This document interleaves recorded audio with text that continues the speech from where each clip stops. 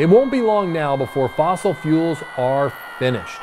They've had a good run, but we are rapidly moving into a high tech future where we just won't need them. Once our computerized smarts are fully applied to our energy needs, it's all going to be different, right? Actually, no. Renewable energy will absolutely not make the same leaps and bounds as computing technology has. The physics of nature are fundamentally different than the storage and processing of information. Everything in the physical world is subject to the laws set by gravity, friction, inertia, mass, and thermodynamics. Computers process information. They don't physically move things. It's easy to see why people believe in a soon to arrive high tech nirvana. We've seen astonishing technological progress in the past half century. The driving force is Moore's Law, a doubling of transistors on integrated circuits every two years. Gordon Moore, co founder of Intel Corporation, predicted this would happen decades ago, and he was right. The result has been phenomenal growth in computing power, which has given us every kind of high tech gadget imaginable. But computing power and energy are two very different things.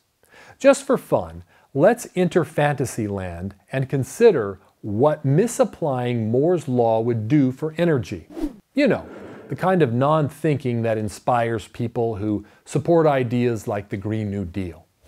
We thank Mark Mills, a senior fellow at the Manhattan Institute, for providing these examples.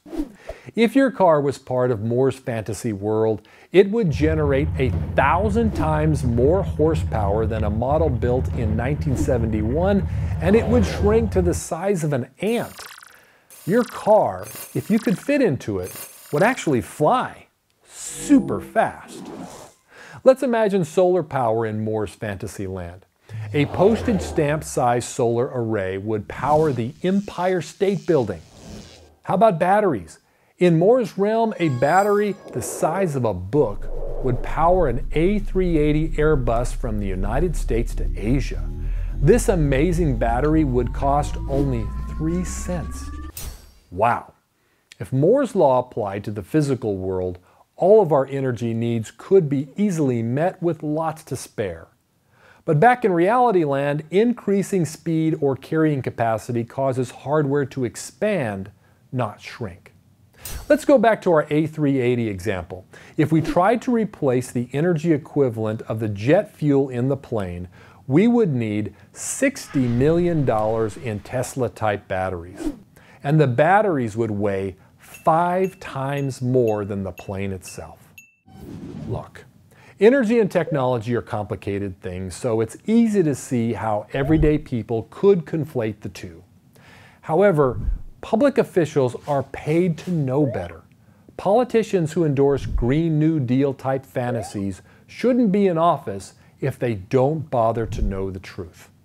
Misleading the public the way they do is highly unethical and extremely dangerous.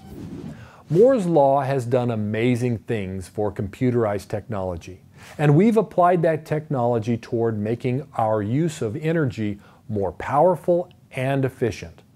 But compressing information into a small space is a lot different than doing real world things like flying people across an ocean. For the Clear Energy Alliance, I'm Mark Mathis. Power on. Thank you for watching this video. Please subscribe to our YouTube channel to be notified when new Power On videos are released and follow our social channels for more great energy content.